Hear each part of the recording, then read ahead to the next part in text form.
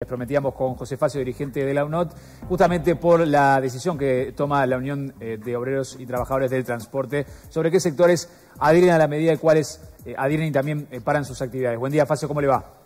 Buen día, ¿qué tal? ¿Cómo andan ustedes? Bien, muy bien, muchas gracias por acompañarnos. Las disculpas por, los inconvenientes que tuvimos anteriormente para, establecer la, comunicación. ahora, sí le queríamos consultar, bueno, ¿cuáles son ¿Cómo se llega concretamente a esta decisión eh, de, que algunos sectores eh, paran las actividades, otros adhieren pero, pero no paran? Eh, ¿Qué se tuvo en cuenta para, para esta definición que se tomó este lunes? Bueno, la UNOT estuvo analizando este, primero la situación sanitaria que, que, vive el país y posteriormente nosotros hemos recibido de parte del secretario general de del PCNT, del presidente del PCNT y de la propia mesa representativa de la central, un pedido expreso de atender eh, los vacunatorios y por lo tanto la UNOT estuvo debatiendo durante varios días este, cuál era la medida a tomar.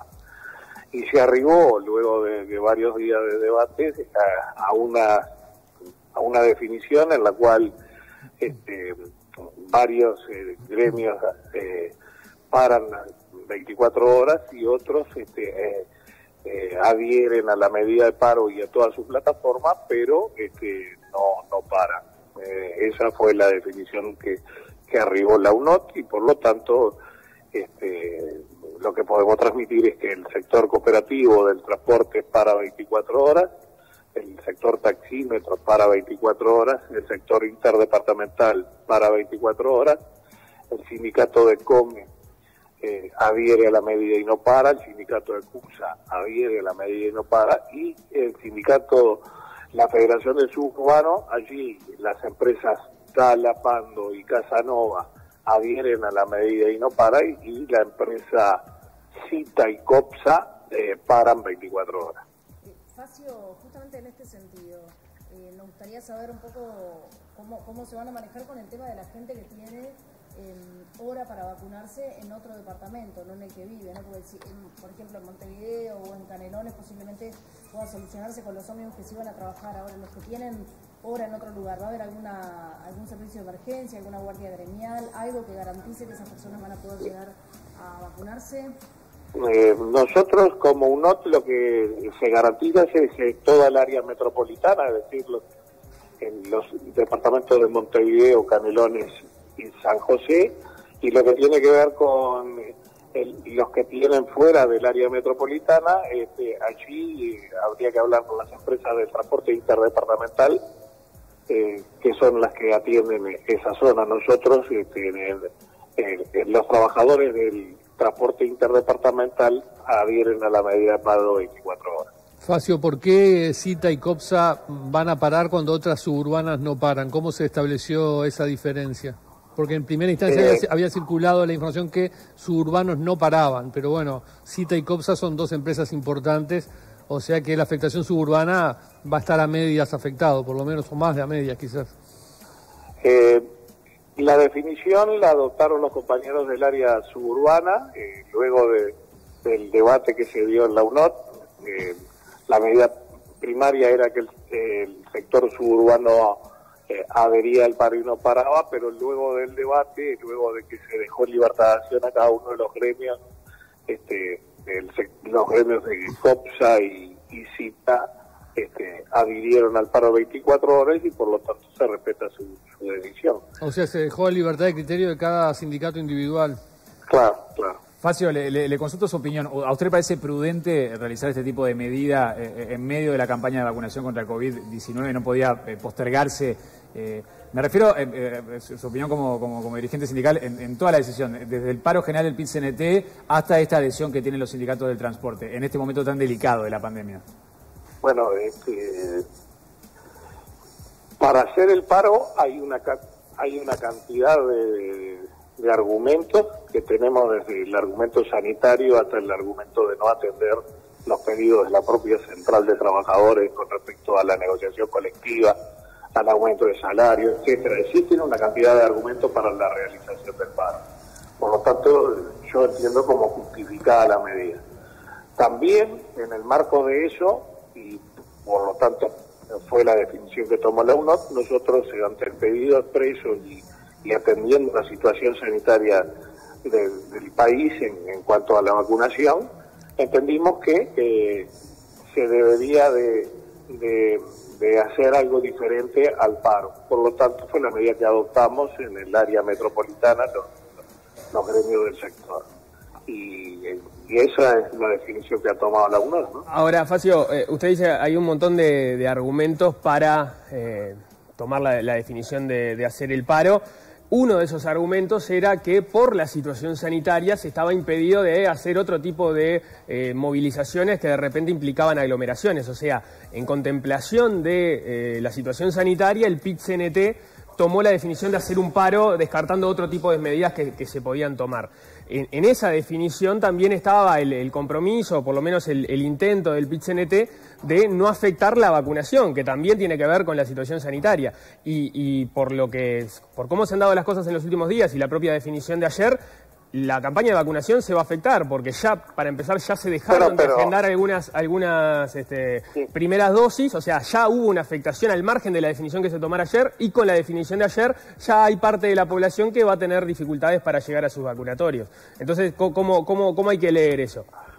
Bueno, en primera instancia hay que leer que el pedido que hizo la central sindical al Ministerio de Salud Pública para reagendar eh, el día de vacunación no fue tomado en cuenta, o sea que había posibilidad para reagendar el, día de, mañana y no eh, el propio gobierno entendió no hacerlo. Eso eh, es hacer oídos sordos también a los reclamos de los trabajadores, sabiendo que... Y es postergar 60.000 personas para vacunarse.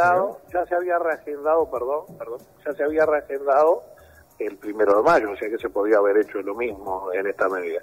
Eh, y lo que decimos nosotros es que eh, nosotros atendimos el, pedido para, para el área metropolitana donde vive la mayor cantidad de, población del país y, este, y, por lo tanto estamos asegurando que se puedan trasladar muchos este, vecinos uruguayos y trabajadores a vacunarse cuando la responsabilidad no es del sector transporte, sino que es del gobierno, que tendría que haber atendido en el marco de una movilización general, haber reagendado la vacunación, como ya lo he dicho.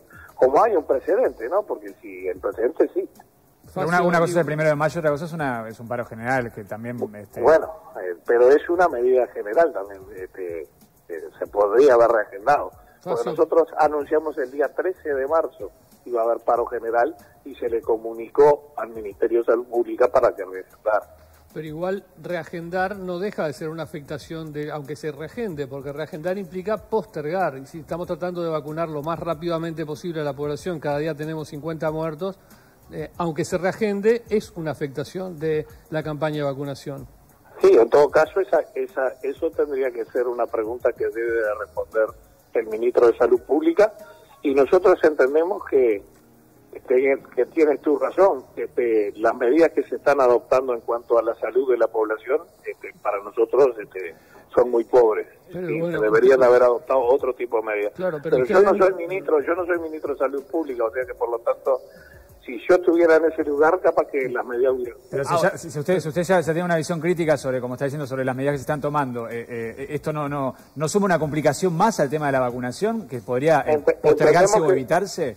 Porque hay segundas dosis que se tienen que dar en fecha, no se pueden dar cuando se postergar para, para varios días después. No, se podía haber postergado para unas horas después, porque al otro día se podía haber reagendado. podría haberse corrido todo 24 horas. Ahora, Facio, eh, cuando, cuando se comunicó el paro, desde el PIT-CNT se salió a decir que esto no iba a afectar la campaña de vacunación. Y en realidad estamos a, nada del, paro y recién ayer se toma, eh, se pone claro cómo va a ser la movilización y qué, cuáles son los este, ómnibus que van a estar funcionando y cuáles no. No, no entienden que eh, por lo menos hubo un, problema de comunicación en que el, el PIT-CNT al, al inicio dio a entender que no se iba a afectar la vacunación y después entendemos que a través del transporte sí podía haber una, una afectación? Bueno, porque probablemente se haya entendido que se podía haber reagendado, como te, dije anteriormente. No, no, explícitamente se dijo que no se iba a que los vacunatorios iban a estar abiertos y que se iba este, a tratar de que no se afectara la, vacunación. O sea, fue una definición explícita. El, el, comunicado del sí, en ese momento no pedía que, se reagendara. Quizás eso llegó después, pero en ese momento la comunicación no fue así. Tienes tu razón, porque llegó después, porque el día el día 13 el transporte votó el paro general, o sea que ya se sabía que el transporte iba, iba a parar el, día 17 de junio. Este, la postergación este, surge a raíz de que se hace oído sordo al pedido de la central de, de, reagendar.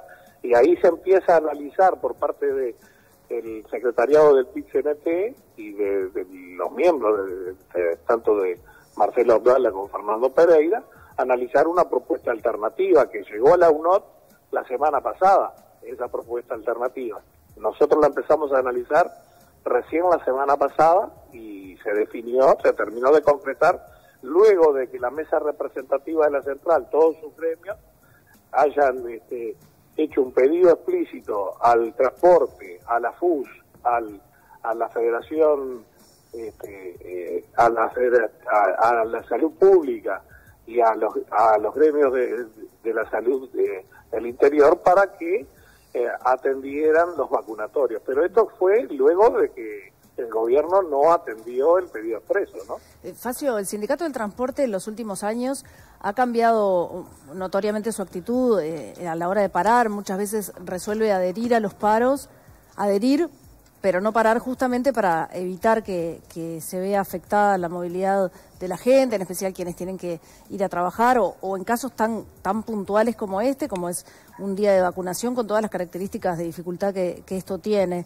Em, hay, teniendo en cuenta esto, ¿no? Este cambio que ha tenido el sindicato del transporte, favoreciendo a la población, ¿hay alguna chance de que las, de los sindicatos que resolvieron eh, parar igual y no trabajar el día del paro eh, cambien su actitud pensando en la cantidad de gente que va a quedar sin poder vacunarse?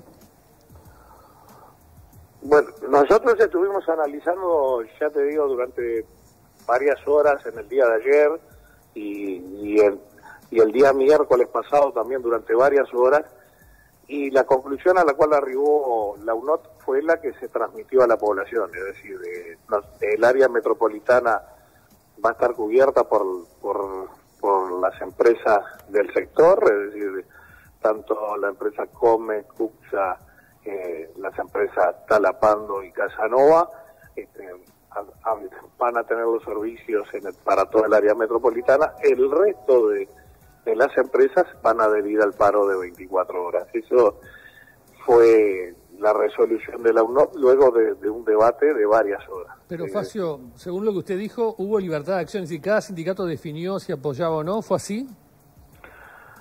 Eh, luego de que no se encontrara una salida consensuada para todos, para poder este, transmitir eh, como un conjunto, es decir, que toda la UNOT realizara lo mismo, se, se determinó que, cada sector este, hiciera la medida que, que, entendiera necesaria. O sea que los sindicatos de CUCSA, COME, Talapando y Casanova entendieron que adherían al paro, pero prestaban el servicio por considerarlo importante, y los sindicatos de COPSA, CITA y las cooperativas decidieron que adherían al paro y paraban, y los taxis.